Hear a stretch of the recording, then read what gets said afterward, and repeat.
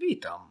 Oto kocioł dwupaliwowy MPM DS2 o mocy 14 kW.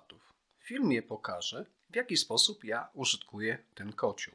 Kocioł podłączony jest do instalacji grawitacyjnej, w której bez boilerów znajduje się 400 litrów wody, a moc odbiorników ciepła wynosi 12 kW. Kocioł pracuje cyklicznie od 3 do 8 godzin na dobę na mocy nominalnej na szczelinie powietrza ustawianej ręcznie. Kluczem do osiągnięcia takich samych parametrów pracy kotła jest powtarzanie katalogu czynności według przygotowanej listy kontrolnej. Przed rozpaleniem kotła w mojej kotłowni należy otworzyć pełny nawyw powietrza do kotłowni 200 cm2, otworzyć klapę krótkiego obiegu w kotle, otworzyć w całości przepustnicę spalin na czopuchu kotła.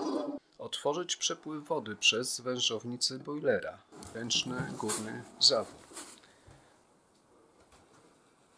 Włączyć sterownik pomp. Przeczyścić ruszcz żeliwny. Sprawdzić zapełnienie popielnika i ewentualnie usunąć z niego zimny popiół.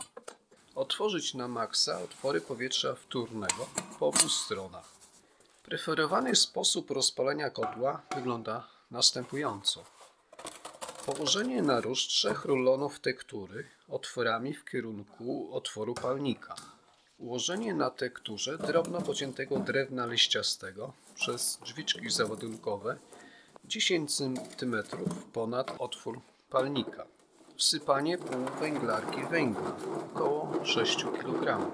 Ułożenie grubego drewna, sosna na węglu. Zamknięcie e, drzwiczek załadunkowych i ich nieotwieranie do czasu wypalenia wsadu. Rozpalenie rulonów tektury i zamknięcie drzwiczek oraz otwarcie drzwiczek popielnikowych. Po rozpaleniu kocioł wymaga ciągłego dozoru do czasu ustabilizowania się temperatury spalin na poziomie 280 stopni Celsjusza. Ciągły dozór kotła przy rozpalaniu nie polega na staniu przy kotle. W tym czasie zamiatam przy kotle, przynoszę opał z magazynu na następny dzień. Przy poprawnym rozpalaniu się wsadu paliwa temperatura spalin szybko rośnie i przekracza 280 stopni Celsjusza. Wtedy należy zamknąć drzwiczki popielnikowe oraz otworzyć na maksa otwór powietrza pierwotnego.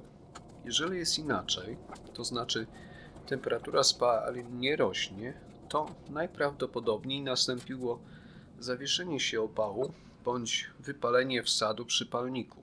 Wtedy należy ostrożnie przez środkowe drzwiczki przy pomocy spiczastego pogrzewacza dokonać korekty ułożenia paliwa na ruszcie. Podstawą kontroli mocy kotła jest temperatura spalin na wyjściu z kotła. Dopływ powietrza do kotła kontrolowany jest przez odpowiednie ustawienie przepustnicy spalin oraz wlotu powietrza pierwotnego. Aby ułatwić sobie obsługę, przygotowałem tabelę ustawień parametrów pracy kotła w zależności od kształtowania się zewnętrznych czynników wpływających na siłę ciągu kominowego. Przez większość sezonu grzewczego ciąg w moim kominie jest zbyt duży, dlatego dla poprawnej pracy kotła kluczowe jest właściwe ustawienie dźwigni przepustnicy spalin. Tak wygląda spalanie w komorze załadowczej przy niezredukowanym silnym ciągu kominowym. A tak wygląda spalanie w tej komorze w tych samych warunkach przy tak zwanym całkowitym zamknięciu przepustnicy spalin. Jeżeli do kotła dostarczane będzie zbyt dużo powietrza, to instalacji CO grozi przygrzanie.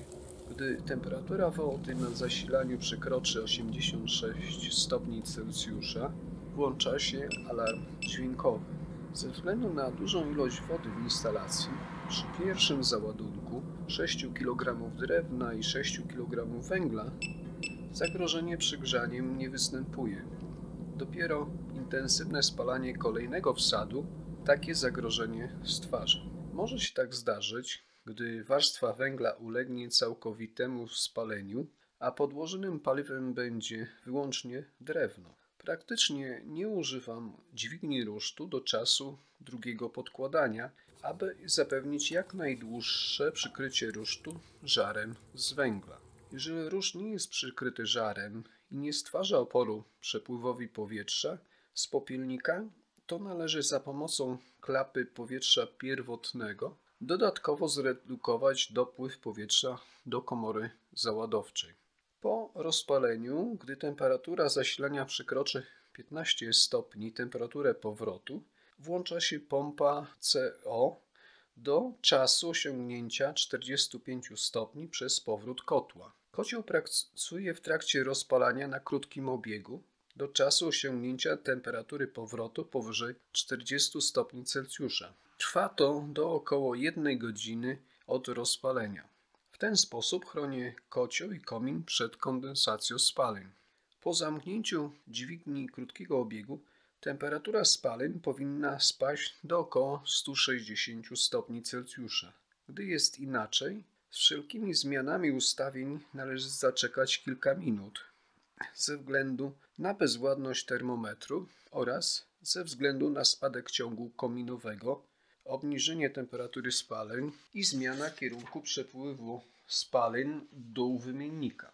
W trakcie normalnej pracy kotła, jeżeli temperatura spalin jest niższa od 160 stopni, może to świadczyć o zawieszeniu się opału lub zbyt mocnemu przydławieniu ciągu kominowego.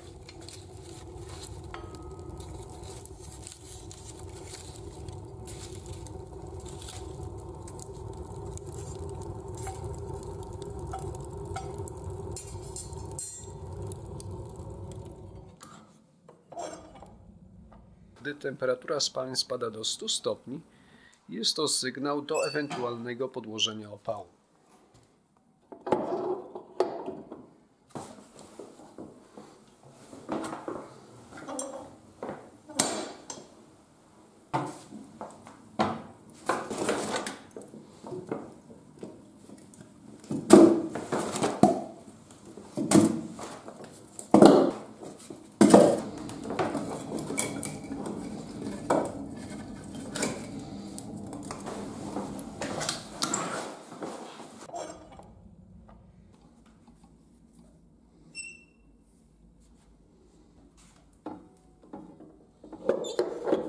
Jeżeli temperatura spalin na długim obiegu przekracza 180 stopni, świadczy to o zbyt dużej ilości powietrza pierwotnego dostarczonego do kotła, np. na skutek zmiany warunków pogodowych w postaci silnego wiatru czy spalania drewna na ruszcie nieprzykrytym żarem lub też zalegającym osadem na nieczyszczonym wymienniku. Przykładowo taki osad na wymienniku kotła powoduje podniesienie temperatury spalin o 30 stopni.